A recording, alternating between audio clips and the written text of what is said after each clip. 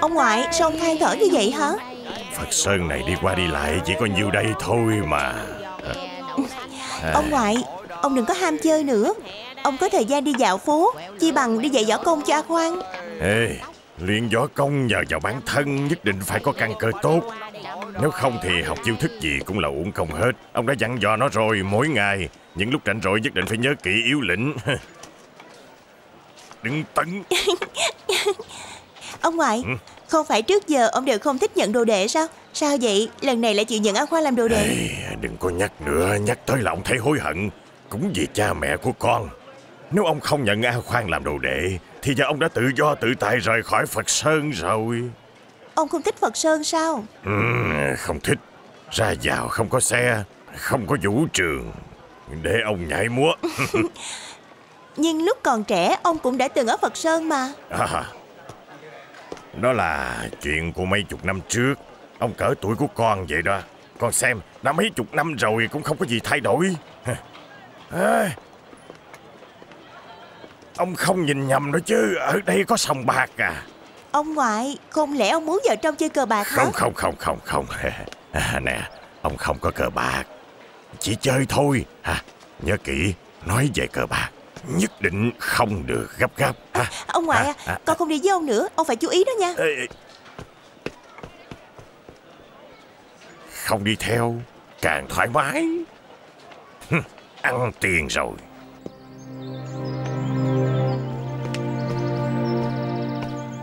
Hồng Thái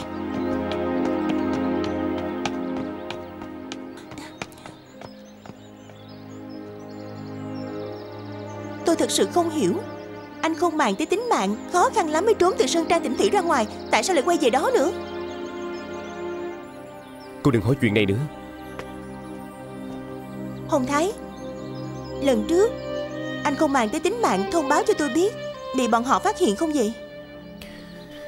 Nếu bị bọn họ phát hiện ra Thì tôi không thể sống tới bây giờ được. Anh không chịu nói gì hết Như vậy người ta không biết làm sao mà giúp anh. Anh có thể đừng cố chấp như vậy không? Tôi không cần bất cứ ai giúp đỡ. Cô hãy quên hết tất cả mọi chuyện đi. Hồng Thái. Sau này tốt nhất đừng tới tìm tôi. Hãy tự bảo trọng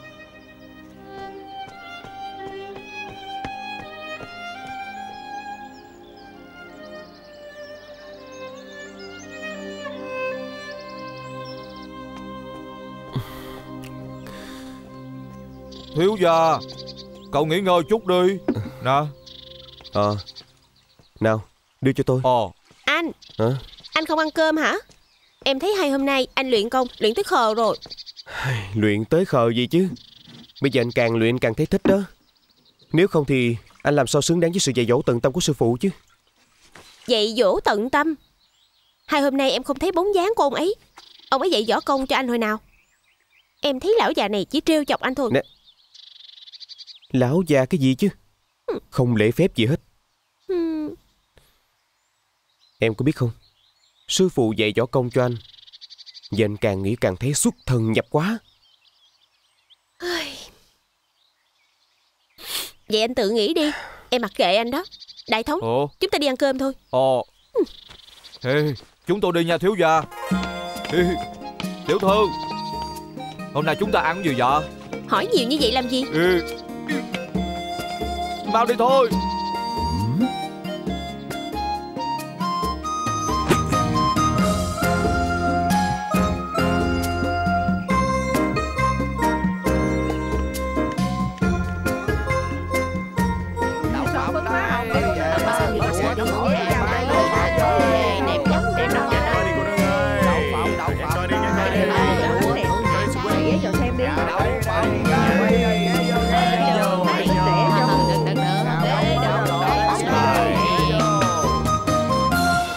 Trọ Tam Thủy.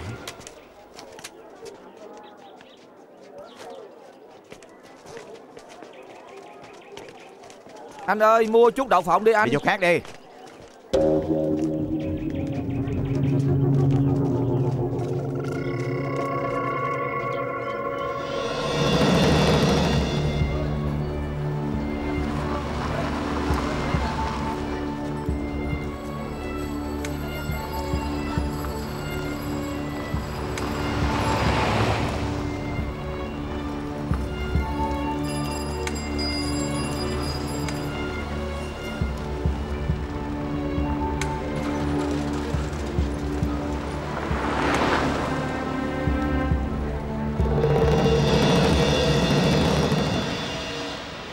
Nè đi chỗ Mẹ khác cuộc là muốn sao đây hả? Muốn chết hay không? Cậu dám đụng chúng Dạ, tôi hả? dám đụng chúng tôi hả? Nè, Muốn sao đây là sao hả? Muốn chết là gì?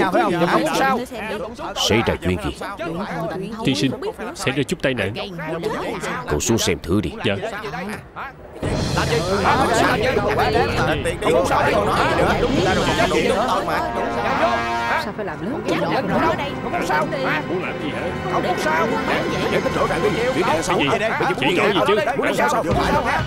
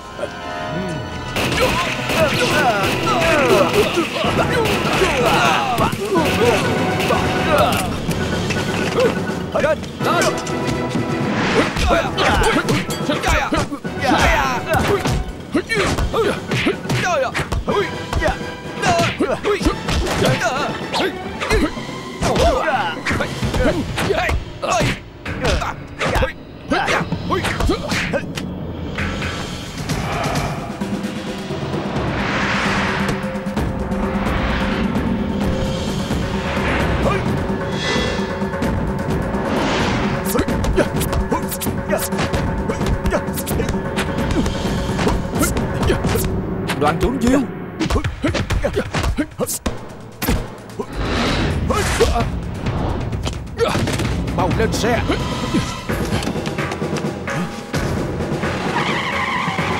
Lại mau lên nhanh lên đi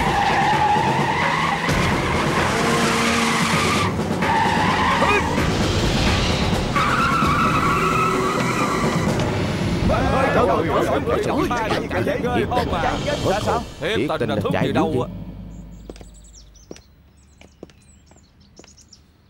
á Quân trưởng Thái Tối nay chúng ta sẽ ở đây Được rồi. Cậu phái người canh ngoài cửa Bất cứ ai cũng không được vào đây. Tôi có chuyện muốn nói với Diệu tiên sinh. Dạ quân trưởng Thái.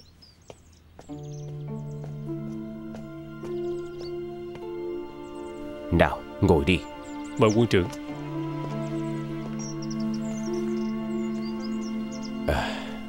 Trước giờ tôi nghe nói Quảng Đông rất loạn. Thật không ngờ còn tệ hơn những gì tôi tưởng Cũng may cậu xuất hiện kịp thời cứu tôi một mạng. Tôi thật sự phải cảm ơn cậu rất nhiều. Xin lỗi quân trưởng Thái Tại tôi tới trễ Khiến ngài hoảng sợ rồi. Ê Tuyệt đối đừng tự trách mình. Tôi hiểu Vì thân phận của cậu đặc biệt Chưa tới thời khắc quan trọng Không được để lộ thân phận. Nè Lúc nãy nhiều người tới đây giết tôi Là người gì vậy? Cậu có biết không? Người đứng đầu là Lâm Nhược Phi Tổng quản của Sơn Trang Tỉnh Thủy ở Phật Sơn Tôi nghi ngờ Sơn Trang Tỉnh Thủy là đại bản doanh của hội Lâm Đao. Chúng tôi đã từng thám thính Sơn Trang Trong đó có phát hiện được bức tượng của Từ Hy. Sơn Tràng tỉnh Thủy. Bây giờ tình hình ở bên Phật Sơn thế nào rồi? Phật Sơn bây giờ rất loạn. Sơn Trang Tỉnh Thủy mở ký diện sông bạc Làm cho Phật Sơn trở nên rối tung lên hết. Nghiêm Sâm là quan địa phương chỗ đó Tại sao hắn không quản lý chứ? Sư trưởng nghiêm coi như không nhìn thấy gì Không ra mặt can thiệp Loại quan này còn cần tới làm gì? Quân trưởng Thái Ngài có biết là bây giờ Phật Sơn có một vụ án quan rất lớn Liên quan tới Dung Thương Hải Dung Lão Gia không? Ồ Có chuyện gì vậy? Ông ấy bị kiện vận chuyển súng ống Thật ra là bị Sơn Trang Tỉnh Thủy hãm hại. Cậu có tìm được chứng cứ gì không? Vốn dĩ hôm đó tôi suýt chút nữa phát hiện nhân chứng Nhưng bị một sát thủ tới đó trước Giết chết hắn rồi. Sát thủ đó cũng nổ súng tự dẫn. Sau đó tôi phát hiện Thì ra hắn là một thái giám Từ điểm này tôi có thể khẳng định Chắc chắn là Sơn Trang Tỉnh Thủy làm. Làm đào đúng là vô pháp vô thiên. Được. Tôi lập tức giết một cái công văn. Khi cậu về tới Phật Sơn Đưa cho nghiêm sâm Kêu hắn đợi tôi tới Phật Sơn rồi mới thẩm vấn. Tôi phải đích thân thẩm vấn vụ án này. Dạ quân trưởng Thái. Ngài không lập tức tới Phật Sơn hay sao? Tôi phải tới Quảng Châu trước Hội làm đau hừng hực sức sống Nếu trong tay họ có được một lô súng ống lớn Thì nhất định sẽ có ý đồ. Lỡ như họ làm loạn Không phải là chuyện nhỏ đâu. Quảng Châu là cửa nam của quốc gia chúng ta. Lỡ như có sơ sót gì Khó giải quyết hơn Phật Sơn. Được. Vậy tôi sẽ Phật Sơn Yên tâm chờ ngày tới về. Ừ. Giờ quốc gia của chúng ta Vẫn còn đang ở trong Thời khắc lung lay trước gió. Nếu như không giữ được chính quyền dân chủ mới này Quốc gia của chúng ta, Nhất định sẽ sụp đổ. À.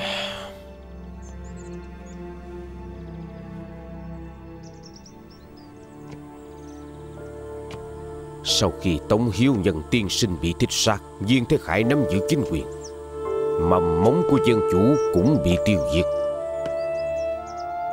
Nhiều tiên sinh, Cậu và tôi đều là nhân vật nhỏ trên thế gian này. Cả hai giọt nước mưa không có tác dụng gì đâu. Nhưng nếu tập hợp tất cả lại Thì có thể xuyên qua cục đá. Chỉ cần chúng ta tập hợp lực lượng lại Thì chắc chắn có thể có tác dụng ở trong thế gian tâm tối này. Thậm chí có thể trở thành sức mạnh thay đổi thời đại. Tôi tin vào điểm này. Chàng trai trẻ, Chúng ta hãy cùng nhau cố gắng Vì quốc gia chúng ta. Yên tâm. Tôi hiểu rồi. Nơi giải trí hồng dần. Đặt lớn đi nhỏ Đặt tốt đi đặt tốt đi Đặt nhiều ăn nhiều Đặt nhỏ Đặt nhỏ Đặt nhỏ Đặt nhỏ Năm sáu sáu Lớn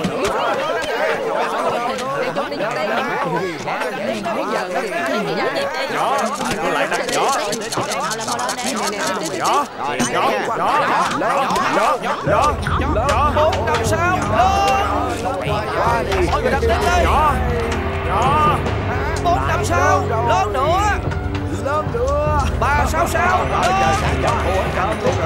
Ngại quá Mọi người đặt đi Không thể nào như vậy được Sao 15 dáng đều là lớn chứ Không dáng nào nhỏ hết Các gạt nha Giờ tới cái gạt tôi Đây đều là tiền của tôi Là tiền của tôi Đây đều là của tôi Không chơi của hết tôi là tiền của tôi Của tôi Của tôi tôi tôi ngoài Các người gạt tiền của tôi Mau lôi ra ngoài đi tôi Làm gì vậy người gạt tiền của tôi Mời lấy ra ngoài đi ra ngoài đi tôi Các người Các người gạt tiền của tôi Các người cho tôi vào trong Các người cho tôi vào trong Thả tôi ra Buông ra Cho tôi vào trong Cho tôi vào Đi trong chỗ khác Đi chỗ khác nghe không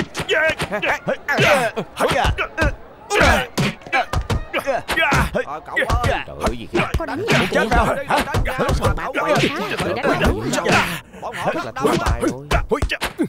Thôi Trả gì Trời. Ơi sao bị ta đánh là được rồi Kỳ này lớn chuyện rồi Giỏi quá trời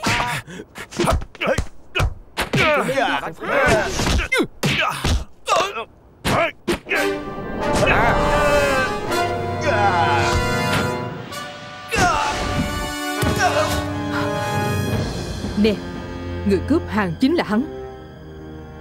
Là hắn? Phải chính là hắn. Ôi sao mà ra nổi Ờ, Sao đánh lại Giang Anh.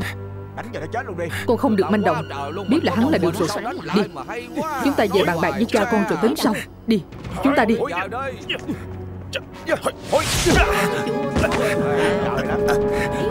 Sao đi đừng làm loạn nữa Đáng rồi lắm quậy rồi đi về. xử lý Đi về. giá mà Rồi sao Đáng đời Đi chỗ này đó mà. Đẹp mặt chưa thành đi không lo làm nên ăn bỏ Tự mình cướp lấy thôi làm gì bây giờ đấy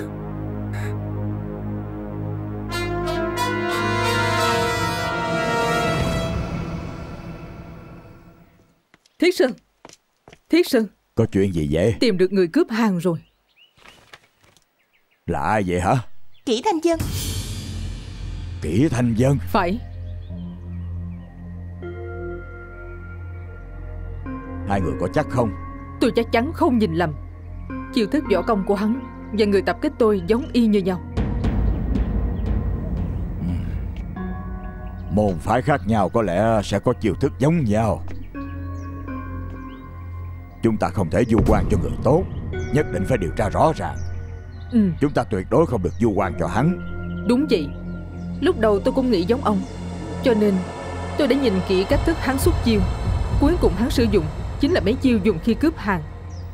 Hơn nữa đôi mắt của hắn tôi nhớ rất rõ. Trước đây không để ý. Bây giờ suy nghĩ lại thật kỹ. Tôi dám khẳng định Hắn chính là người cướp hàng đã đánh tôi bị trọng thương. Sao hai người không bắt hắn về đây Con vốn dự định bắt Nhưng mẹ không cho. Hey, Nhìn hai cha con nhà ông kìa Sao ai cũng nóng tính vậy? Lúc đó nhiều người đứng đó xem Tôi làm sao ra tay được? Cha Cha Trước đây Kỷ Thanh Dân từng làm môn khách ở nhà Dung Lão Gia mà. Hay là chúng ta đi hỏi Dung Lão Gia về lai lịch của hắn? À, Bây giờ Dung Gia đang gặp phiền phức lớn như vậy. Nói chung chuyện này Chúng ta tự mình giải quyết được rồi. Đừng gây thêm rắc rối cho họ nữa. Phải. Cha con nói đúng. Chuyện này không được bứt dây động rừng. Với lại không được gây thêm phiền phức cho Dung Gia nữa. Ừ. Thiết Sơn Ông xem có cần tìm cha tôi thương lượng không? Cha của bà hả? Tôi thấy hay là thôi đi. Con người của ông ấy Không có kính miệng chút nào hết. Cho ông biết thì ai cũng biết hết đó. Đừng có để ông xen vào Nói không chừng bây giờ nhân sâm cỡ trong tay của kỹ thanh dân. À, Được rồi. Bây giờ đã tìm được người rồi. Chúng ta canh chừng hắn. Cha nghĩ thông qua hắn nhất định sẽ tìm lại được nhân sâm. Ừ, ừ.